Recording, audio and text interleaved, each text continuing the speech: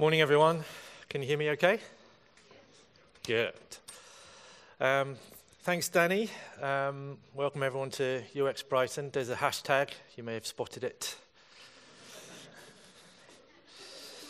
Um, as Danny said, I'm Richard Rutter. I'm one of the co-founders of Clearleft. Uh, we're a user-centered design agency based here in Brighton. And just to give you a little context about Clearleft, uh, we're about 25 people, um, comprising researchers, project managers, strategists, front-end developers, visual designers, UX designers, um, of which I'm one. And uh, we've worked over the last 11 years for loads of different organizations, different sizes, from huge ones like councils and banks and publishing houses. We recently redesigned the site for Penguin Books, through to tiny startups and, and local charities. And we used to call ourselves a UX agency, um, but you may have noticed I said user-centered design studio. Um, and we were one of the first self-described UX agencies in the UK, I would say. Pro maybe not the first, but one of the first. Um, but like I said, we don't describe ourselves as that anymore, and, and I wonder why that is. UX is dead. Well, it's not, is it? That's a lie. Um, long live UX. UX is dead, long live UX. This is, that's the, uh, the theme of the conference today. Um, but what is UX anyway? You know, or rather, what was it and what has it become? Here's a man who has good claim to coining the phrase in the first place back in the 90s. And here's what he thinks UX is supposed to mean and what he thinks has happened to it. Once upon a time, a very long time ago. I was at Apple. And you know, we said the experience of using these computers is weak. Uh, the experience, when you first discover it, when you see it in the store, when you buy it, when you, ooh, can't fit it into the car. It's in this great big box. It doesn't fit into the car. And when you finally do get it home, opening in the box up and, oh, it looks scary. I don't know if I dare put this computer together. All of that is user experience. It's everything that touches upon your experience with the product. And it may not even be near the product. It may be when you're telling somebody else about it. That's what we meant when we devised the term user experience and set up what we called the User Experience Architect's Office at Apple to try to enhance things. Now, Apple was already pretty good, so we were starting with a good product, making it even better. Today, that term has been horribly misused. It's used by people to say, I'm a user experience designer. I design websites or I design apps. And they have no clues to what they're doing. And they think the experience is that simple device, the website or the app or who knows what. No. It's everything. It's the way you experience the world. It's the way you experience your life. It's the way you experience the service. Or, yeah, an app or a, or a computer system but it's a system, it's everything. Got it? Got it? Well, that was one way to appear on the stage with Don Norman, anyway. Um, so, UX is about the, the user's experience of the system, whatever that might be. But has UX lost its way? Um, when Danny invited us all here, um, his provocation was Has UX become a thing designers do rather than a thing users have? And it's an interesting question. Um, and perhaps our young profession, that of user experience design for the digital realm, um, has reached some kind of existential crisis. Maybe we'll find out by the end of the day. Um, but we wouldn't be alone. Visual designers have been scratching their heads in a similar way. We see these kinds of quotes happening around. Um, have today's designers stopped dreaming? Um, has uh, web design lost its soul? Um, so is UX just a thing we do now? Have we got it nailed? Can we just look at the manual, follow a checklist and call it done, um, and then do exactly the same thing on the next job, and the next job, and the one after that? Danny's provocation got me thinking if we do UX, what is it that we actually do? And if you ask Google that question, one of the results you get back is this from the UXPA, the User Experience Designers User Experience Professionals Association, something like that. Um, and, uh, and it shows that we kind of struggle what, um, to describe what we do, but we normally end up putting ourselves in the center of the world. Um, there we are, a nice blurry graphic for you with us in the center of the world, and this happens a lot. Um, and a lot. And a lot. And a lot. Yep. Still the center of the world, everything feeding into us. There we are, and that's how you do it. Um, and that is my favorite visualization of all the UX horse, which, of course, we all know is actually a unicorn. So, if the UXPA is right and we are fed by all of these disciplines, then we've got a huge pond of knowledge to fish in, and that pond is only going to get bigger and it's going to get smarter and more complex fish. Um, and, and us people, we people who do UX, we're going to need to keep evolving if we're to keep up with everything that feeds us. And, and that's what I'm going to talk a bit about today. And when I say we should be evolving, I'm simply talking about getting better at our jobs, but all the time. And one of the best ways to do that, apart from to practice what we do, um, is to look around us and take on what we see as good. And we've been doing that for ages. Um, take wireframes, for example. That's a wireframe. The original sort of idea of a wireframe. It's, uh, it mocks up the form of an artwork and, and is the foundation upon which the piece is built, in this case, a topiary sculpture. In his collection of essays on poetry and literary criticism called The Sacred Wood, um, T.S. Eliot wrote, Immature poets imitate, mature poets steal. Now, you might be more familiar with good artists copy, great artists steal, supposedly said by Picasso, but that would actually be our first Steve Jobs quote of the day, um, because he popularized, popularized that misappropriation um, in an interview about 20 years ago. Picasso didn't say that, or there's no evidence that he did. But what Picasso did say is, when there's anything to steal, I steal. Um, and more interestingly, when he's speaking about the work of uh, one of his contemporaries, he says, You've got to be able to picture side by side everything Matisse and I were doing at that time. No one has ever looked at Matisse's painting more carefully than I, and no one has looked at mine more carefully than he. So he's talking about basically seeing what Matisse is doing and, and picking the best stuff that Matisse has done and using it for himself. And this is the difference between copying and stealing in this case. And it's not one of intellectual property, it's about taking someone else, it's not about taking someone else's idea and pretending that it was yours. If you copy someone else's technique or method without thinking, you'll be using something that worked for them in their circumstances. But by stealing a technique, you're making it your own. You'll have to work out why it works for them, how it can work for you, and adapting and molding that technique is necessary, maybe completely changing the context in which you use it.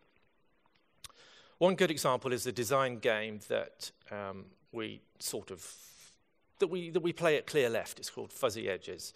Fluffy Edges, actually, is the official term. Fluffy Edges. And we stole it from Agile's Planning Poker. Now, planning poker, as many of you may know, is a consensus based estimating technique where a project team um, estimates how long a given story is going to take to do. And the idea is that a team discusses the feature amongst themselves, and then all at the same time, they vote with these cards to say it's going to take three points or three days or whatever the unit is.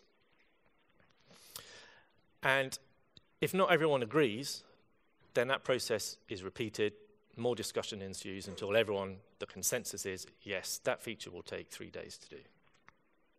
Now, Fluffy Edges takes the same idea, but for role mapping. We have a list of roles and jobs that needs to be done for a project, and we go through them one by one and instead of holding up numbers, we hold up people's names. And there's a consensus amongst the team, amongst the project team, of who is going to do that role. and be responsible and own that role for the rest of the project. And we do this with our client. This is one of the outputs from a client. Um, but we also do it as an internal team. And that's where it really comes into its own. Uh, we ask about the roles that normally fall between the cracks. Um, and where there are sort of fluffy edges around the roles and ownership. So, for example, we'll say who is responsible for asking the client if we can use their name in some publicity? Who is responsible for organizing a revisit of the work, maybe six months after post launch? Who is responsible for the learning on the project? And that last one is quite key. Um, we always assign someone to be responsible for that, to be responsible for making sure that upfront we work out or have a guess at what can we learn from this new project as individuals and collectively. And for checking back again at the end of the project, what did we learn? Did we learn that stuff? Were there different things that we learned? And it's a way of identifying something to try out on a project. And, and using that mindset, it's like, I've got these ideas, these things that I wanted to use.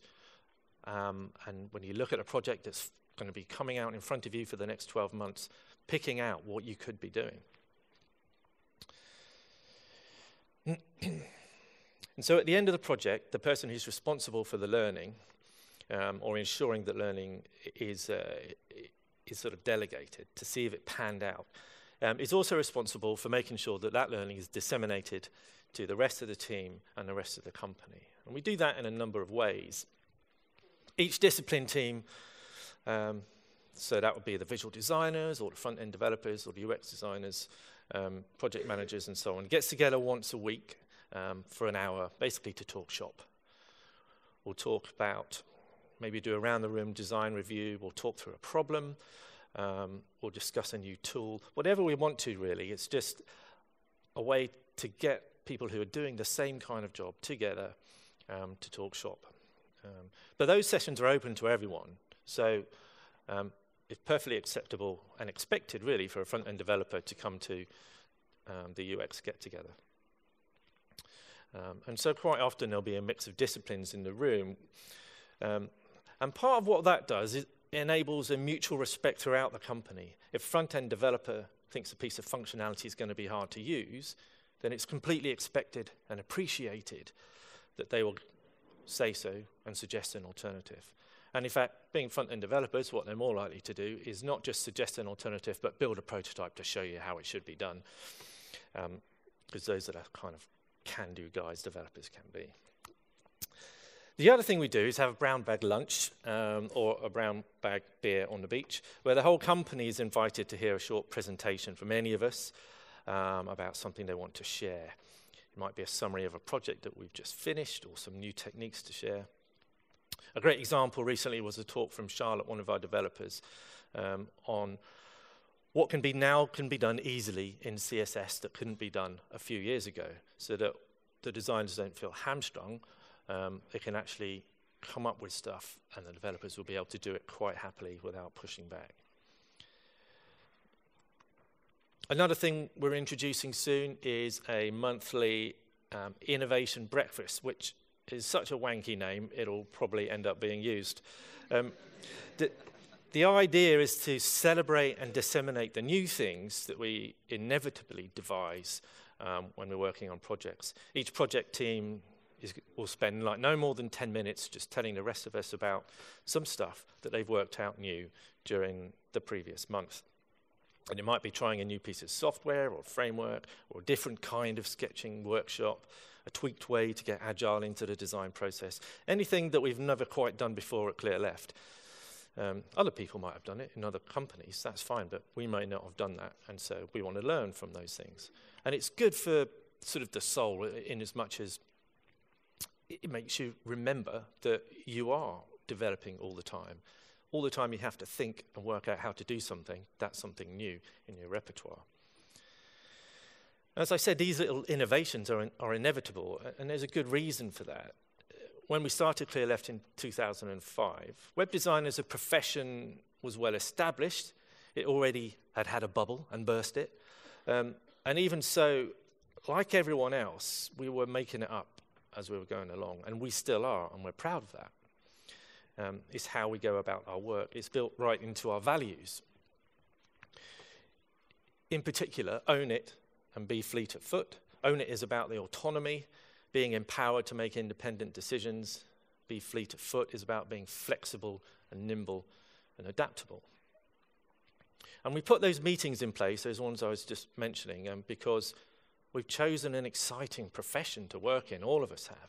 And things are always changing, there's always new stuff to learn um, and improve upon. Um, and if we grab the opportunity to do so, we'll be happier for it. It turns out there are three factors that the science shows lead to better performance, um, not to mention personal satisfaction autonomy, mastery, and purpose. Right, let's talk about mastery. Mastery is our urge to get better at stuff. We like to get better at stuff. This is why people play musical instruments on the weekend. You got all these people who are acting in ways that seem irrational economically. They play musical instruments on weekends. Why? It's not going to get them a mate. It's not going to make them any money. Why are they doing it? Because it's fun, because you get better at it, and that's satisfying. That was Daniel Pink on, on why we do what we do, um, because it's fun and satisfying, right? That's the idea. Um, our job, as I see it, as UX designers, is to uncover problems, reveal needs, find solutions, and hone experiences. But most importantly, it's to communicate all of those things. Problems are only solved if you can. Um, problems are only solved when solutions are communicated in such a way that they're acted upon. And your focus as a UX designer um, should be to make your client or your boss look good and help them communicate your solution onwards. And sometimes that needs a little bit of lateral thinking. Recently, Clearleft um, did some work for a high end fashion brand. Uh, we needed a way to understand and communicate the vision they had for the work that we were being asked to do. Um, it wasn't clear that there was alignment there. And one of the first things we did was visit their flagship store in London. It's an amazing space, and it gave us a real sense of what the brand is all about um, and what we needed to bring to their digital presence. While we were there, we met Francis. He was really friendly, immaculately turned out. And we watched as he worked very precisely, um, working on a leather belt all the time, chatting away to us and, and answering our questions. And he became our spirit guide for the next three months of engagement. No personas, just what would Francis do? And seriously. And, and it helped frame a lot of the conversations amongst ourselves and with the client.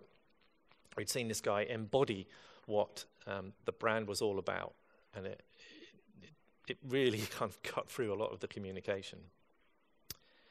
What we found surprising working with the digital designers there was how they communicated with each other everything was maximum fidelity. The UX designers were working in Sketch on what probably most of us would call visual design, you know, like that end result practically. Um, so no post-its, no sketches, no wireframes, just maximum fidelity. We found it uh, slightly uncomfortable, a bit wasteful. It certainly wasn't the fleet of foot way that we like to go about doing things. But we had to adapt to it um, because that's how they communicated um, and follow their lead in some regard. Now, partly, some of the ways that we did that was sort of hack together things in um, in Axure with basically screenshots with uh, hotspots and things like that because we didn't want to spend our time doing high fidelity design, but we we worked around it. In the end, though, um, we ended up persuading the digital design team to think like fashion designers. You know, they're the core of the business. We told them they should go up to the fourth floor of the building and see for themselves the messiness. Um, and the messiness of the, of the design process, as probably most of us understand it. The sketches, the rough work, the prototypes, and steal from the fashion designers who are at the core of that business.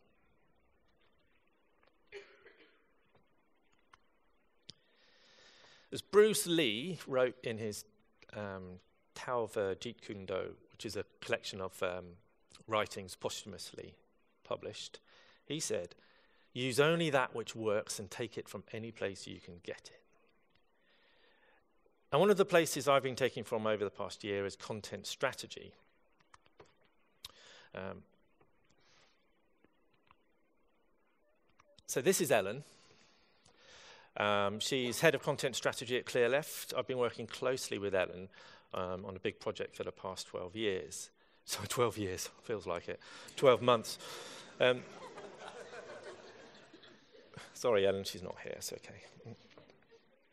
Uh, when we did our project planning at, at the beginning um, and talked about what we'd learned, it was fairly clear that with Ellen leading the project, I'd have a lot to learn um, and, and to pick up on techniques I could appropriate from an expert content strategist. Um, and also how to work as an integrated UX and content strategy team. And the opposite was true. Um, Ellen felt that she was going to have a lot to learn from leading um, leading a team which had UXers essentially working for her um, and working alongside a UX designer, um, as opposed to working separately, or as quite was often the case, coming in after what seemed to be most of the UX work had done. Of course, content strategy is, you know, there's that, that old Venn diagram about being part of UX, but um, anyway, I'd like to share some of the learnings that I had working with Ellen over the last 12 months in terms of um, UX working closely with content strategy, just to give you an idea of where you can continuously be looking for, for new shiny things to be that magpie. Oh, incidentally, there's no evidence at all that magpies actually steal shiny things. That's just a myth. So, what we were doing was working for um, Theirworld, which is a charity which campaigns on behalf um, of children across the world. Put very simply, uh, the job entailed combining two websites and developing a coherent, achievable digital content strategy. It's very much um, a content based site. There's little in the way of functionality beyond signing petitions and subscribing to newsletters and social sharing, that kind of stuff. Hence, being led by a content strategist. And the project split into two phases immersion and strategy, and um, design and build, probably something fairly familiar to most of you. And looking at the list of activities we did, particularly in that first phase, some are specific to disciplines, like content strategy might own the brand and the language related ones. Um, and UX might claim ownership of the information architecture and the navigational scheme. But on the whole, both disciplines have a claim over most of these, especially in that phase one. But it turns out we had different reasons and different approaches to doing the same thing. And we needed to recognize that in advance and work out, um, basically work it out between us what we were going to do at any given point, or we'd be wasting our clients' precious time and money. We didn't really have the time or the budget to be running separate workshops, one for content strategy, one for UX, especially when there was so much overlap between the end result of the workshops and things like that. So we did workshop a lot with the clients. Um, that's something we do loads at, at Clearleft, and Ellen's got a lot of experience running workshops as well, so that was all going to be very comfortable for us. It's certainly true that not all content strategists um, research in such a hands-on way, but the same can probably be said of UX designers too. One workshop we did uh, was to develop user archetypes, so sort of personas which are bereft of any in-depth research or contextual inquiry. Um, First off, we did some audience identification and prioritization.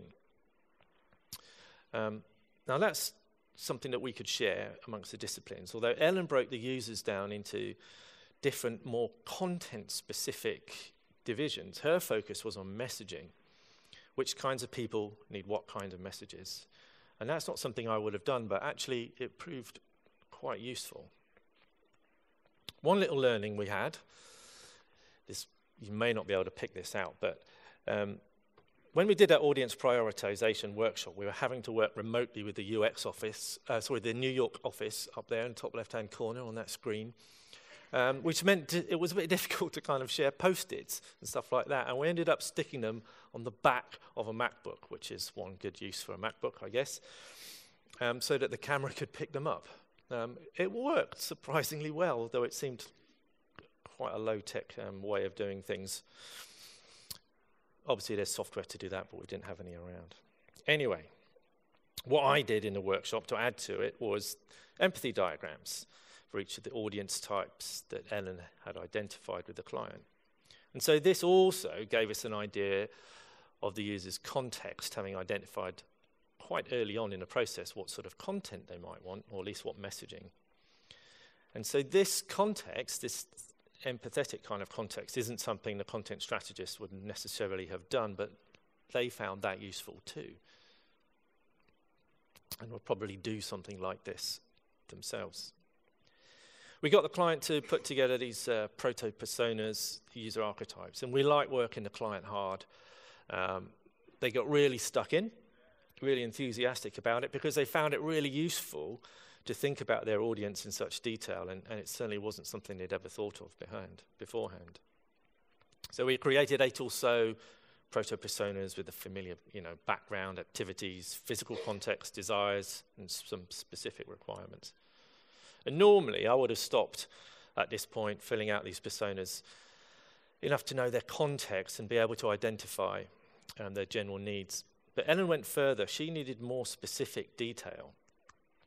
And so we created a second page on the back of these, which was all about the messaging and the brand impact. And it really actually brought that persona to life and helped us focus the priorities of what we would do for that user type. And between us, we learned some things here. So Ellen learned that gaining empathy of the context helps when developing the messaging.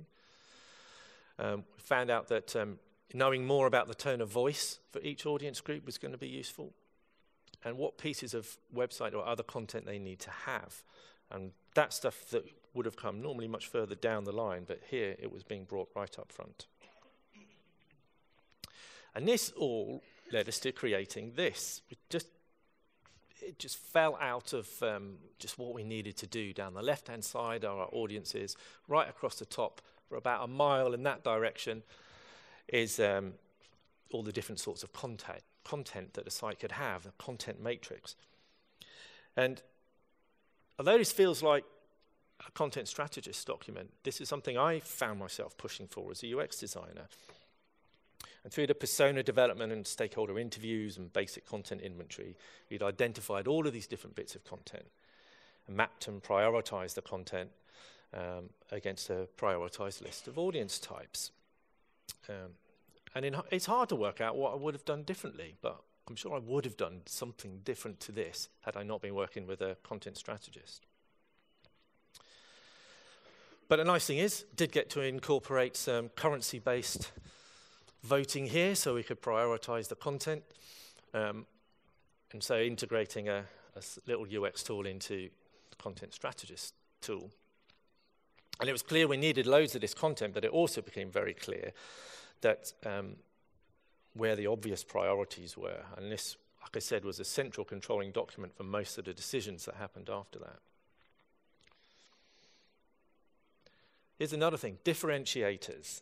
This was another of Ellen's workshops, which I found really fascinating, really useful. And we just asked the client what makes their world different from other charities. Now, I might have asked that question at some point, maybe just in a stakeholder interview. Um, but this was more structured, and we spent quite a long time with the clients trying to tease this information out of them, and it was really good insight for us to help us understand what made the organization tick. And the output, from my point of view, helps with the priorities of the pages and the navigation in particular. So I'll probably be asking these kinds of questions again. Archetypes. This is great. I love these. I'm totally stealing them and using them again. So these are not user archetypes, these are content archetypes.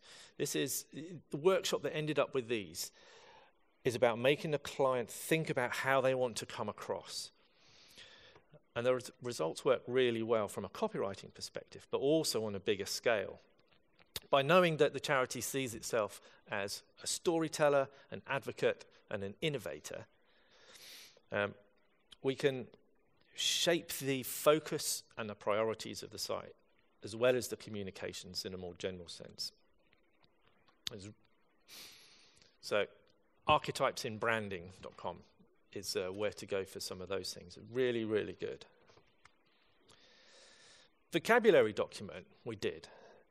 Purpose of this to serve as the language we use as a team to help maintain consistency, to form the foundations for the future decision making, to set a precedent for the use of terminology for the brand and also internally, and to lay the foundations for a new information architecture. Now, a vocabulary document like this is not something I would have done as a UX designer, but it was really useful having it um, because it helped create one of these, which you might have seen before, a concept diagram. Um, and this wasn't something that Ellen had used before, so this was something she was picking up from me. Um, and actually, this is really just a visual version of that vocabulary, and it helped visualize the relationships across the, across the organization. And the client loved it too, because it increases the confidence that we understood them and also help them see the complexity they were feeling within the charity. And leads us on to user journeys. But these user journeys are supplemented by a bit of a story, and they're using the personas that we used earlier on. And so things like the news article they land on is about a project. Interested, they follow the link to the project page for more information. They see the project has a campaign and want to get behind it and click to take part. Now, that's obviously a fiction, but it's a fiction that we're using to, um, to create these user journeys on the site to because that's the whole premise of the site. We're not expecting people to come to a homepage and follow some drop-down navigation.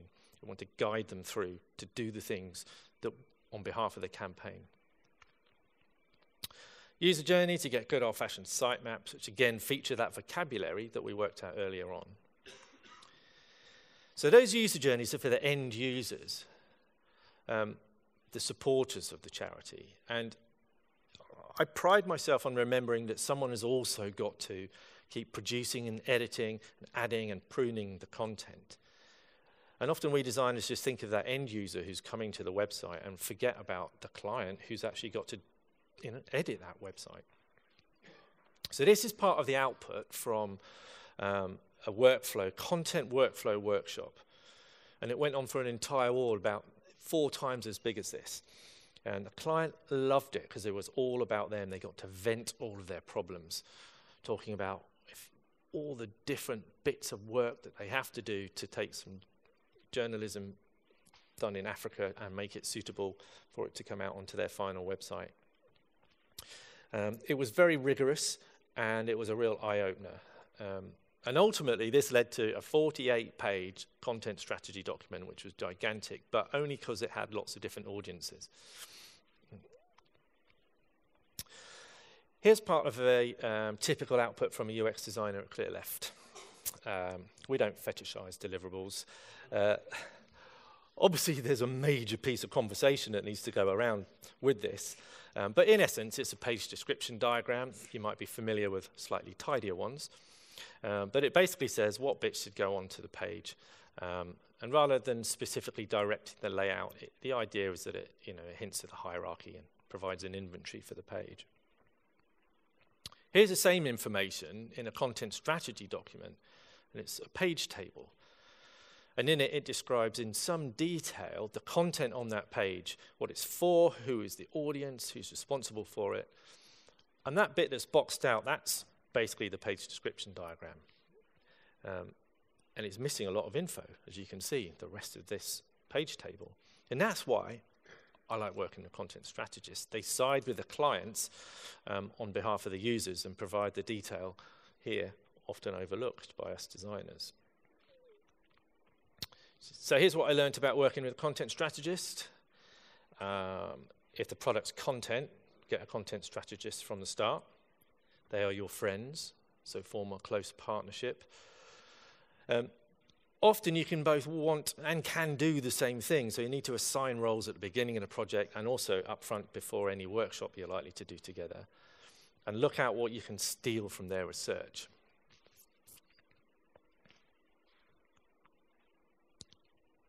So one of my other passions um, is typography.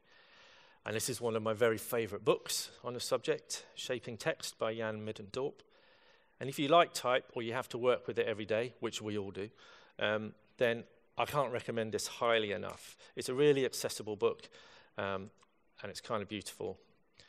And it, on one of its spreads on choosing typefaces, um, it talks through various criteria that you might choose to choose a typeface. And it includes this one your hidden agenda.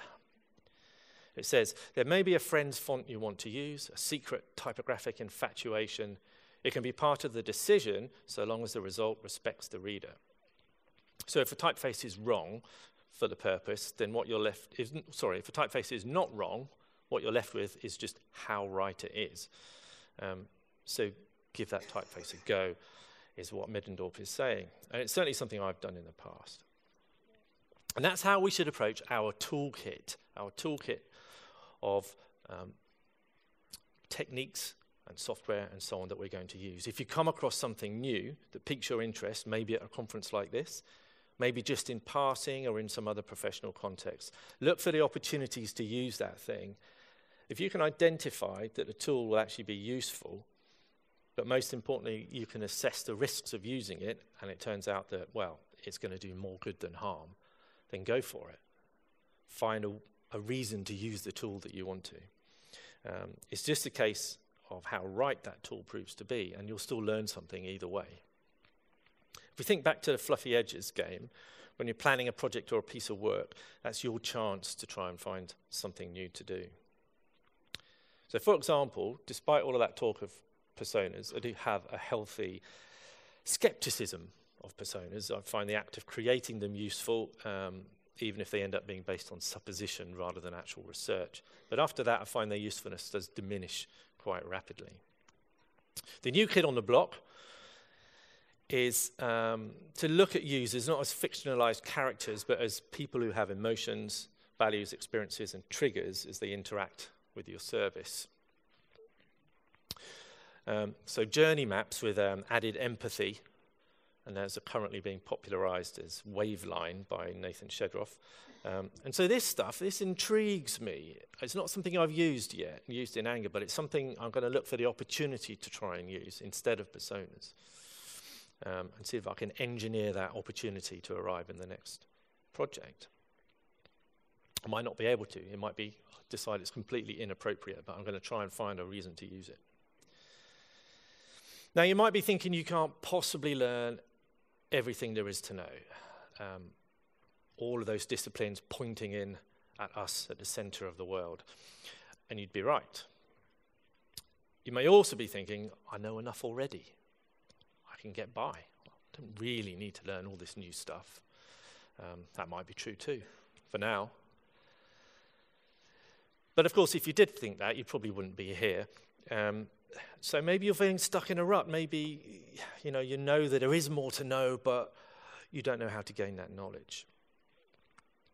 So Buckminster Fuller said the majority of people do nothing about their good ideas. They never risk action.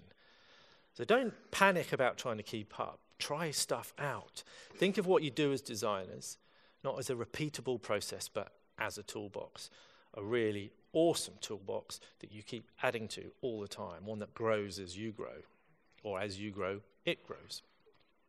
And each time you use a certain tool, ask yourself why you're using it, and keep your eyes open for opportunities to use new tools. Don't forget the old adage to ask for forgiveness, not permission. That said, you need trust for that to work. And trust can either be lent down or it can be earned up. And if you're leading a team, then you need to lend them trust and give them autonomy. If you're not leading a team, you need to earn trust, which you do by being dependable. And that means making your client or your boss look good, as I said earlier on. And that doesn't mean sucking up to them, it means helping them communicate the good work that you're doing. One more wise old man. Um, Peter Drucker the uh, Austrian American management consultant, wrote in 1952 in his book, The Practice of Management, that profit is not the primary goal of a company, but rather an essential condition for the company's continued existence and sustainability. Now, some people have um, copied that and said that innovation is not the primary goal of a company. but an essential condition. I'd like to steal it and say that learning is an essential condition for a company's continued existence. But more than that, as people who do UX, as people who design users' experience, learning is an essential condition for our continued existence and sustainability. So